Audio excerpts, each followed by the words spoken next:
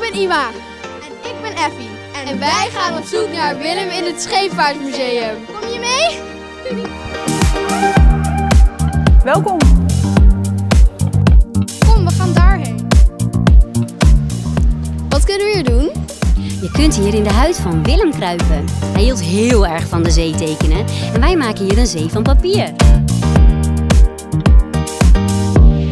Kom zitten meiden.